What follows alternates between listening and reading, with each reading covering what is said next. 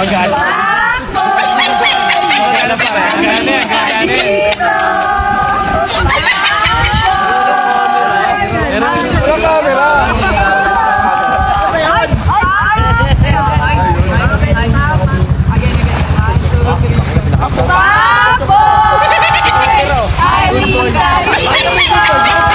Good boy! Good boy!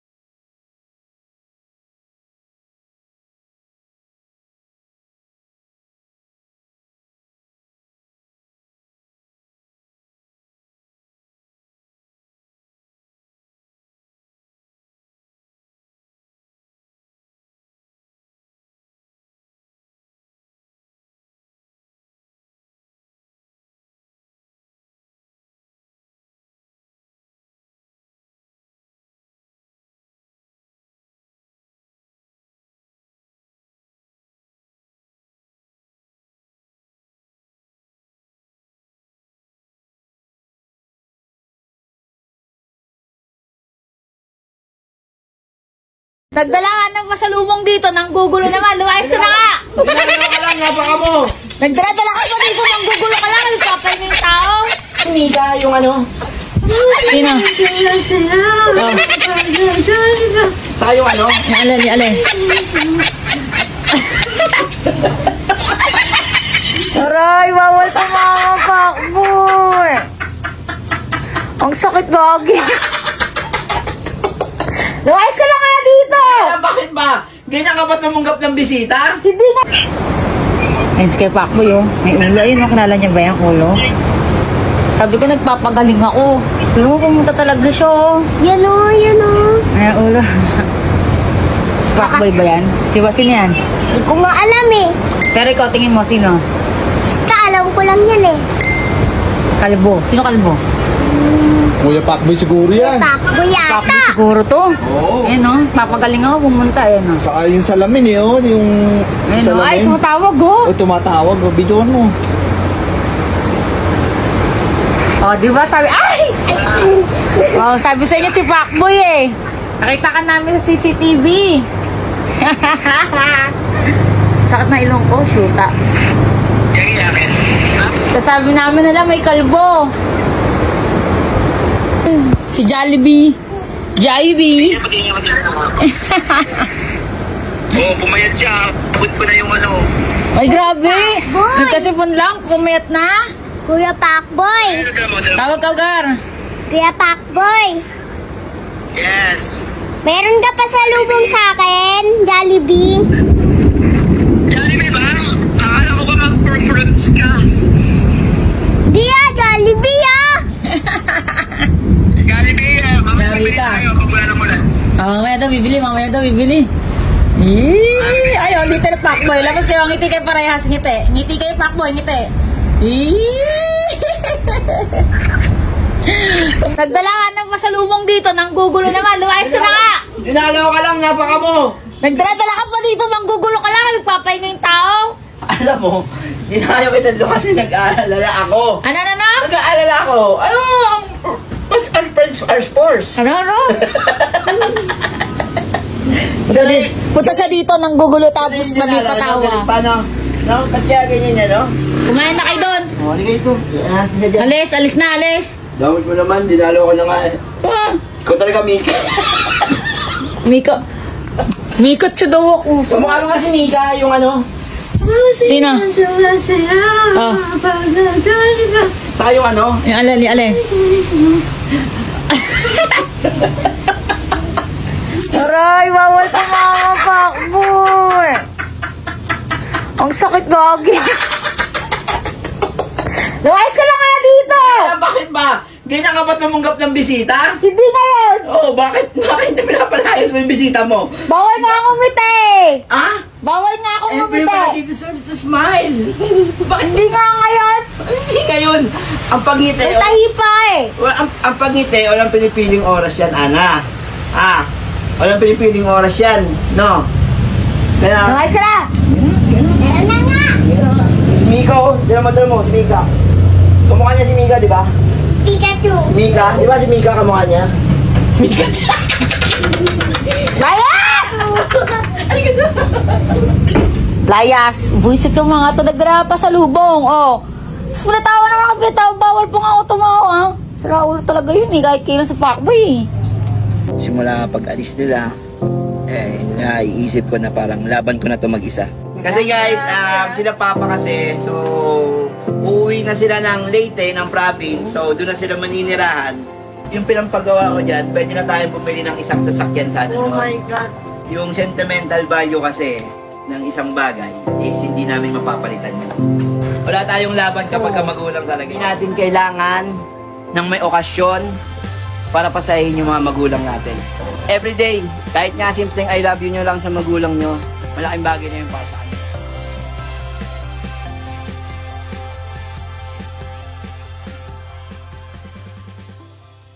Good day, another day, another vlog. So, syempre, pinapunta ko dito ngayon yung kapatid ko para sorpresahin natin ang papa ko. Syempre, kahit late na ah, ang Father's Day, eh, hindi naman natin kailangan na may okasyon para isorpresa ang mga magulang natin. So, pinapunta ko yung kapatid ko dito at ang sabi ko kay papa is, ah, magpapasama lang ako kasi may lakad kami. Pero papapalitan natin yung gulong niya at syempre, mapagawa natin yung sasakyan niya dahil malapit na siya umuwi at doon sila maninirahan sa Leyte. Kaya gusto ko safe sila makapag-ride pa uwi. Surprise na lang kung saan tayo pupunta. A few inches later. So syempre, um, ito yung Father's Day special ko para sa kahit late na, eh, sinasabi ko nga sa inyo na hindi hadlang kung paano ka babawi sa mga parents mo. So, eto, iniram ko, nagpaalam ako kay Papa na sama ko tong kapatid ko na to and may meeting ka ako ko, di tama? Tama. sabi ko. Tapos pinapunta ko sa bahay. Pero hindi alam ni Papa, um, papaayos ko tong sasakyan niya. Papalitan natin ng gulong. Siyempre, hindi lang yon hindi lang gulong. Um, marami pa tayong sorpresa na ibibigay sa kanya kasi um, pauwi na siya ng Leyte and syempre simula pag alis nila eh, naiisip ko na parang laban ko na to mag-isa kasi nasa probinsya na sila. But, kaya naman, kaya. Strong to.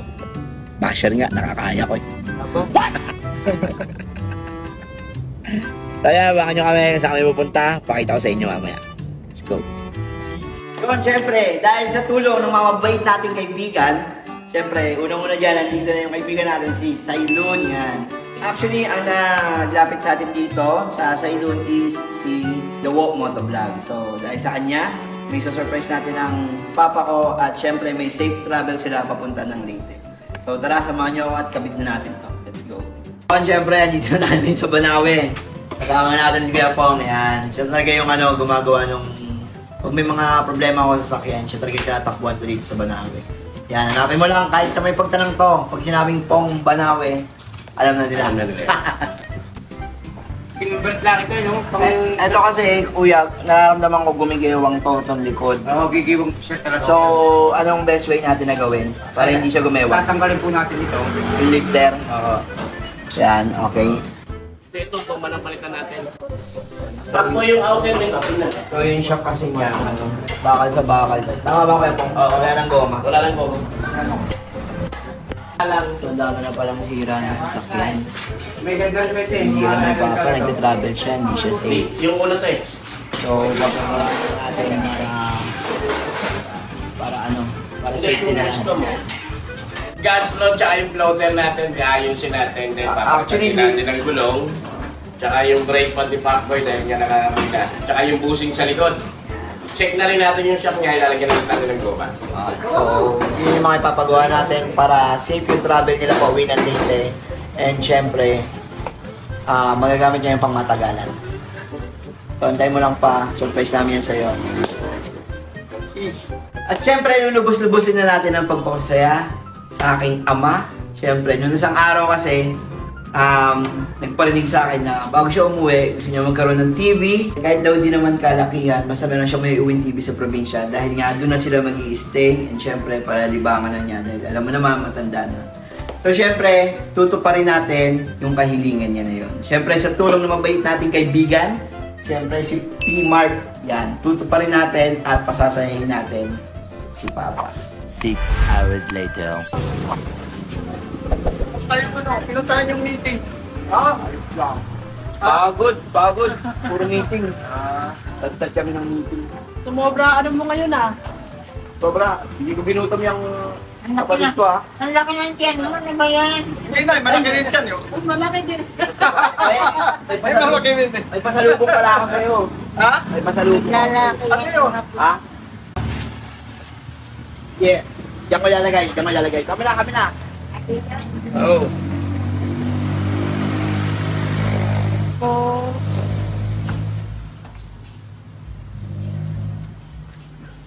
Pasalubong ako sa'yo. Baba, makawalan ka pa ba? Oo. Oh. Ano pa? Pasalubong mo yan. Yan yung dati ah. Ah, ibig sabihin na bago na yung gulong ngayon. Siyempre, bago na yan. Ano handa-handa sa ano? Alam mo, nylon tires. Bago yan, makapal yan. Pwede pa yan. Pwede pa Apat yan, nylon tire. Bago ni Okay, ito na yan, apat. Nylon tayo. Oo. Ang antibay niya. Eh, Siyempre, Yan ang mga ginagamit ng mga nagkakarera. Ano? pasalubong kay Papa, di ba Papa?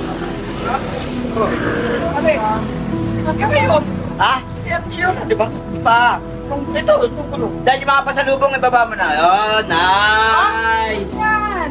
Ano yan? Pasalubong yan. Buksan mo. Buksan mo para malaman Buksan mo, pasalubong yan. Paano malalaman kung hindi mo bubuksan?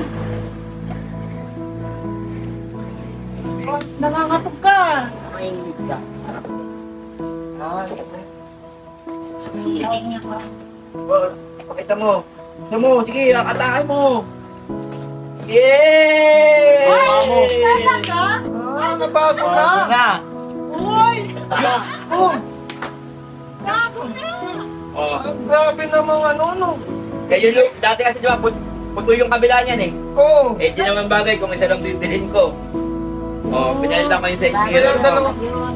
ah, eh, ito yung ano, napalitan din, oh. Oh. Di ba hindi gumagana yung ano mo? Oo. Yung gauge mo sa gasolina, Oo. saka sa temperature. Sinturon, pamalo.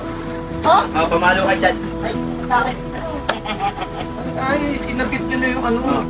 panbelt yan. Handle to, oh. Ay, ito pa. Ito, biruin mo yun, ilang taon na, oh. Oh, ito 10 meron years. Ha? 16 years. 16 years? 17. 17 years. 17 Oh. years. 2007 eh. Ito ang pinakauli. Sako ng bigas. Yan! Yes! Wow! Ha? Sako ng bigas. Oh, Actually, yung, pinam, yung pinampagawa ko dyan, pwede na tayong bumili ng isang sasakyan sana. Oh no? my God. Pero syempre, oh. alam ko namang batang 90s ka. yung sentimental value kasi ng isang bagay is hindi namin mapapalitan yun. So kung kung ano yung Ikaw na talaga. kung ano yung ano, yung pwede namin gawin para may maintain at ma sigurado na safe kayo, yun lang yung pinapalitan ko. Salamat sa Diyos. Pero kung tutuusin, pwede na natin ibili ng isang sasakyan yun.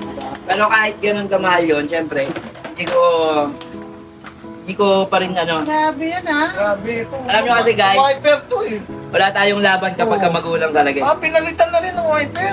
Oo, nagpa- pinalitan ko ng ano, banana type. banana. Maraming salamat. Malamang Oo ba? Para ka naman ano, maliit na bagay lang yun. Salamat. Kasi guys, um, sila papa kasi, so, uuwi na sila ng Leyte, ng province, so doon na sila maninirahan. And syempre, at the same time, gusto ko, safe silang ano, nagta-travel doon, bumabiyahe. Pero kasama nila ako mag-travel, hatid ko sila papunta doon. Maraming salamat. So- maraming maraming salamat. Trinir ko lahat ng pwedeng palitan, lahat ng may sira, pinaayos Diyos ko. Tingnan mo, oh. Eh, Lahat ng Napakalapit- shock natin. Napakalapit pa. Napakalapit pala natin sa aksidente. Oo, totoo Ayan. yun. Yung shock mo, hindi aangat agad. Ha? Yung hila, ayan o. Yung shock mo. Dapat yan, umaangat yan, pusa. Yun. Nakatake mo pa. Wala kami, wala kami alam-alam dyan. Basta 17 years lahat ng tinanggal. Ay, hindi pa yan. Meron pa ba? Oo, ito yung sa brake pad. Oo, brake pad. Brake pad mo. Ah, doon ka sa harap pa. Grabe. Pa, sa harap ka. Sa harap.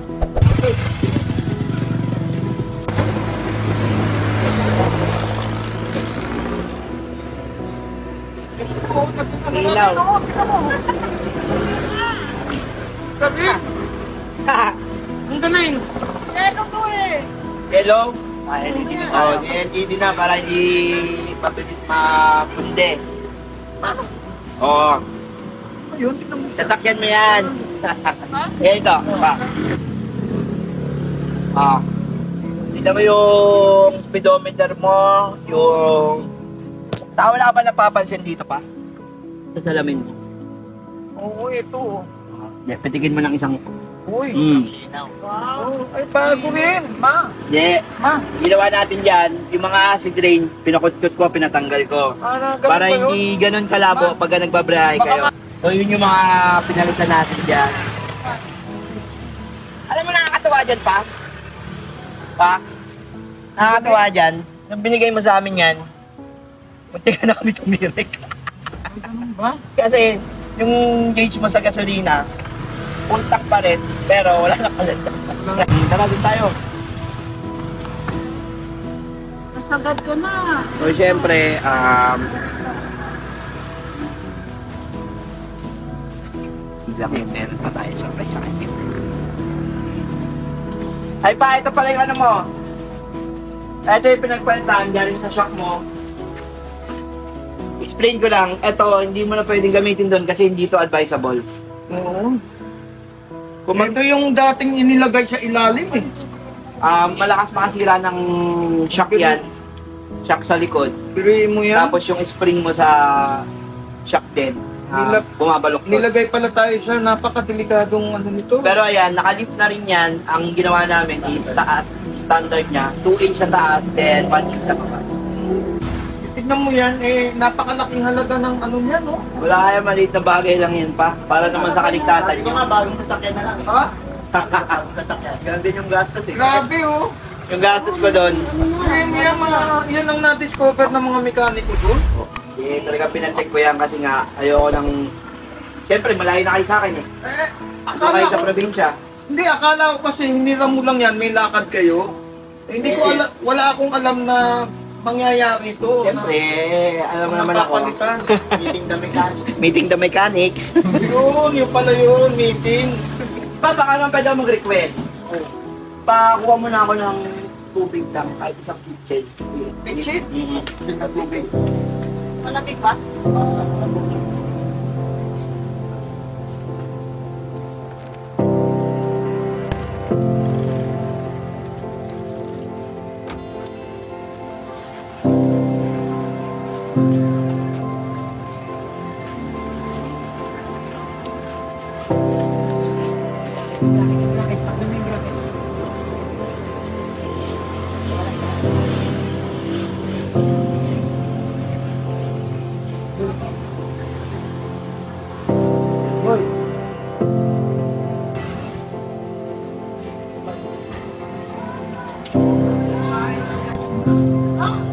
Belated Happy Father's Day.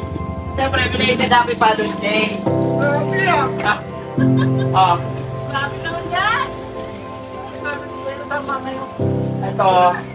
Ah, siyempre, sa tulong na kayo, mabubuti natin kaibigan, siyempre, ah, tulong nila, natupad, na, natupad namin yung wish ko sa'yo na mabigyan ng TV dahil alam kong sirate yung TV nyo dun sa bahay. Oo nga eh. So, ito, Siyam na taon kasi hindi nagamit, natira. ah, ito yung bracket, bigyan na rin kita. Ang bracket na ito. Bracket nito yan. Pina-set up ko na to kanina doon, isasaksak nyo na lang, kukonek sa internet. Ah, okay. Ito, may cord din naman tong speaker, pero pwede rin siya naka-bluetooth.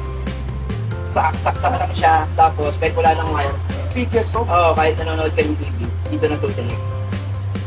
Grabe. Actually pa, ito, late Father's Day special ko to para sa'yo. Dahil naalala mo ng Father's Day, sobrang busy ko talaga. Madami akong ginagawa, alam nyo naman yun. Madami na rin akong atraso, birthday mo, hindi rin ako nakapunta. Napakalaking So, halaga nito. ito lang masasabi ko, hindi natin kailangan ng may okasyon para pasahin yung mga magulang natin. So, everyday, kahit nga simpleng I love you nyo lang sa magulang nyo, malaking bagay na yung para. Tulad nga ng sabi ko, hindi natin kailangan ng special na okasyon para pasahin ng ating mga magulang. Yung simpleng I love you nyo lang sa kanila, ay malaking tulong na yon at mapapangiti nyo na sila ng sobra-sobra. Hindi importante ang gastos para naman sa kapakanan ng pamilya mo.